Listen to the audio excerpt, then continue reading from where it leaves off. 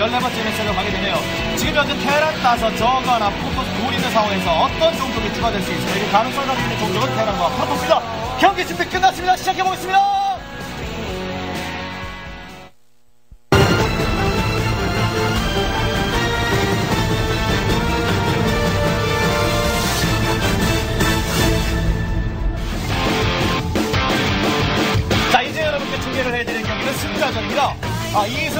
이후에 15분 50초 만에 꺾어 올라온 연보성 선수 그리고 김병훈 선수 상대로 역전승이라고 할 수 있는 경기를 17분 12초간 펼치고 올라온 박영민 선수가 지금 네, 경기석에 앉아서 준비를 모두 마치겠습니다 자 과연 다음 결승에 진출하는 선수 서면 토너먼트 통해서 올라온 선수 누가 될 것일까요?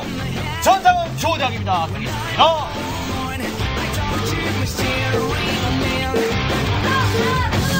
Like a string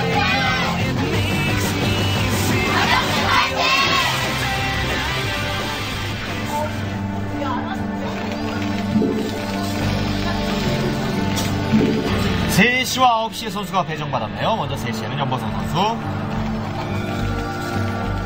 6시에는 박영민 선수가 있습니다. 네. 조디아 프로토스 대 테란전 10대 10입니다. 아주 완벽하게 5대5 스코어를 보여주고 있는 게 조디악에서의 아, 테란과 프로토스전 공식전 전적이지요. 예. 아, 6시. 3시와 아, 6시. 예. 선수가 각각 위치해 있습니다. 조디악에서는 프로토스가 테란 상대로 no gate double Nexus를 과감하게 하는 모습을 많이 보여줬습니다. 그런데 박영민 선수는 일단 본진 지역에 pylon을 짓고 어, 시작을 하네요. 네. 어, 어, zealot부터 찌르는 그런 플레이도 오영종 선수를 비롯한 몇몇 프로토스 플레이, 아, 플레이어들이 보여준 적이 있고 어, 이제 zealot 살짝 찌른 다음 two gate 사업 dragoon 유지, 앞마당 멀티, 이후 robotics 하는 이런 정석적인 형태의 운영도 많이 나왔었어요. 근데 결국에는 누가 더 과감한 build를 선택하느냐 그리고 예, 그 과감함으로 얻어간 이득을 얼마나 잘 유지하느냐 예, 이 싸움이 조디악에서 테플전은 많이 나왔다고 보는데 네. 일단은 안정적입니다. 예. 됩니다. 예. 박영민 선수가 문지훈 선수와 예선전 할 때도 뭐 저희가 중계를 해드렸습니다만 no gate double을 했었거든요. 예, 지금도 마찬가지네요. 게이트 없이 이제 앞마당 더블 그 이후에 이제 본진에 두 개, 앞마당에 두 개 이래서 사 zealot 모아서 셔틀로 한 방에 뚫은 바가 있었죠. double Nexus. 네. 자, 요즘 테란전 3연승을 기록하고 있는 박영민 선수.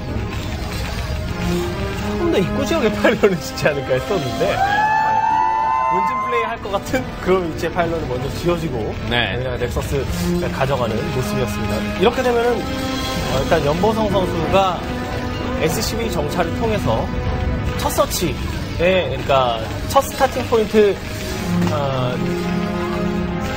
에 발견을 해야 염보성 선수가 이제 맞춰가기가 좀 편하겠는데요. 예, 이재호 선수는 상대방이 no gate double Nexus라는 걸 파악하자마자 과감하게 이 cheese rush부터 감행하는 모습도 보였었고 예. 실제로 앞마당 렉서스는 깼습니다만 그 이후에 김구현 선수가 보여준 운영이 너무 좋아서 무너지는 모습이 보였었죠. 네. 자, factory. 그리고 이제 나가고 있습니다. 네, 염보성 선수 SCV. 일반적인 코스는 그렇죠. 위쪽 지역인데 찾기는 제일 늦게 찾겠네요. 네. 코스대로 갑니다. 네. 이렇게 하면 12시 먼저 가요 대부분. 예. 아래쪽을 먼저 가는 선택은 대각선을 먼저 가는 선택만큼이나 좀덜 하게 되는 starting point라고 생각됩니다. 지금. 네. 반면에 박영민 선수 이제 한 번에 찾을 수 있게 되겠고요. 출발 좋네요. 박영민 선수가 조금 더. 뭐 이후에 이제 그 염보성 선수가 아, 상대방의 빠른 확장 이런 것들을 이제 눈치채게 되면은 아, 앞마당을 따라가면서 역시 이제 그 이후에 운영을 보여주게 보여주게 될 텐데 일단은 출발 자체는 뭐 정찰 방향이라든가 이런 모든 측면에서 박영민 선수가 염보성 선수보다는 낫습니다. 예. 자, 이제 원활하게 돌아가고 있는 박영민 선수의 앞마당 쪽. 예. 이건 two gate에 사거리까지 펼쳐주고 있는, 어, 박영민 선수입니다. 네. Zealot도 지금 한기 아장아장 걸어 나갔죠. FD에 기본적으로 대응을 해야 되기 때문에 가장 먼 길을 돌아오고 있는 네. 염보성 선수의 SCV. 자, 이제 또 잠시 후에 펼쳐지는 경기는 저그 대 저그전이기 때문에 이번 MSL survivor 토너먼트는 898, 테란 8, 저그 9, 프로토스 8 아닙니까? 888이 되겠네요. 네. 머린데 예. 베럭스에서 머린 더 나오나요? 더 나오나요? 예. 아직까지는. 아 떴고요. 떴어요. 네, 떴네요. 예. 아 그렇다는 얘기는 머리는 한 여섯 가지 찍으면서 치즈러시를 가면 그런 패턴을 보여주기 힘들다는 얘기인데요. 그렇죠. 예. 생산이 안 되고 있습니다. 예. FD로도 지금은 좀 머린 숫자가 부족하죠. 머리 6개 정도는 찍히고, 그 다음에 이제 탱크 하나, 벌처 하나 추가하면서 SCV와 함께 이제 아래쪽으로 살짝 내려오는 것이 FD의 기본적인 형태인데, 예. 네, 그 형태 자체도 일단은 앞마당의 빠른 확장을 예, 하기 위해서 일단 머린 숫자를 줄였습니다. 로버트 스포츠를 일반적으로 움직이고 있는 네. 박영민 선수입니다. 예. SCB 정찰 운이 안 따라준 게좀 컸던 것 같네요. 요즘은 또 어, FD를 한다고 하더라도 딱 그 머리 넷 정도 찍고 살짝 나가는 척만 하는 그런 플레이를 선수들이 많이 보여주고 이재호 선수가 치즈러시 할 때 또 머리를 여섯 가지 찍는 그런 모습을 보여줬었는데 예. 염보성 선수가 미처 어, 파악하기도 전에 이미 Nexus 완성돼 있고 멀티 잘 들어가고 뭐 이런 상황이 그러니까 SCV 정찰이 제일 늦는 바람에 그런 상황이 어, 되었다 보니까 페로곤 이미 떠 있고 타이밍이 늦었다 싶으니까 그냥 하던 대로 가고 있어요. 네. 근데 이러면 박영민 선수가 되게 좋은 겁니다. 예. 정운도 따라주고. 예. 좋습니다. 예. 요즘 요즘. 예. 자, siege 못하고 있는 탱크 세대와 Marine들. 박영민 선수는 아마도 어. 오. 네, 아이, 예, 마인으로 수비할 것 같으면 질럿 하나 던지면서 그냥 들어갔을 것 같은데. 자, 또 들어가네요. 탱크 상어기 예. 자, 그냥 밀어붙입니다. 탱크 한 대, 위쪽으로 퍼지면 탱크 둘. 둘, 둘까지, 둘까지. 위 탱크 사거리 퍼져. 아, 영어 아깝네요. 아, 예. 예, 예. 아, 다 잡아냈어요? 그만. 예. 탱크 하나가 또 보강됐죠. 게다가 이제 드라군도 좀 맞았기 어. 때문에.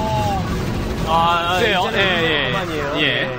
그만, 예, 멈췄습니다. 네. 박영민 선수가 애초에 그러니까 two Zealot 4 Dragoon 타이밍이 어, 갖춰진 다음 그러니까 병력이 다 온 다음에 올라갔으면 더 큰 효과를 봤을지 모릅니다. 근데 Zealot 하나가 탱크들의 포격을 한번 맞고 나왔죠. 그렇죠. 그래서 예, 맷집의 역할을 제대로 또? 수행하지 못했고요. 자, 그냥 또 밀어붙이면서 탱크 하나 또 노리고 있는 상황입니다. 그 Marine 잡아주고 탱크 repair! repair! 그런데 탱크 제거, 체력 급감! 또 잡아냅니다. 뒤로, 어, 그리고 둘 주고 탱크 또 잡아낸 박영민 선수 굉장히 공격적으로 밀어붙이고 다음에 예. Reaver가 준비하고 있습니다. Reaver가! 예, Reaver까지 이어갈 생각이기 때문에 Reaver까지 강하게 이어갈 생각인 것 같습니다. 아주 공격적으로 이제 예, 탱크를 줄여버렸기 때문에 어, 탱크를 줄인 상황이라서 이제 예. 탱크 찍고 이러느라고 수비에 에, 수비 라인 어, 그러니까 수비 방어 타워 보강에 좀 허술할 수가 있거든요. 비어 있어요. 말씀하신 것처럼 지금 셔틀 떴고. 예. 언제는. 어쨌든 방금 전 전투 결과 어, 박영민 선수가 조금이나마 이득을 본 거라고 봐야 됩니다. 왜냐면 박영민 선수는 처음부터 자원에 예, 우위를 점한 상태였었거든요. 예. 그러니까 드라곤이 조금 소비되는 한이 있더라도 상대 탱크를 줄여주면 원래 똑같이 가도 드라곤이 좀 소비돼도 상대 탱크를 줄여주면 이득인데 자원상에서 앞서가고 있는 상황이었다면 좀 얘기가 달라지는 거죠. 그렇죠. 자, 빠져나가는 벌처 견제 빠져나갑니다만. 예, 벌처로 이- 갑니다. 이, 게 예, 이 벌처를 잘 막아야 돼요. 여기서 데미지를 오히려 거꾸로 입어버린다면은 그동안 어, 박영민 선수가 봤었던 어허, 이득이 어허. 이득이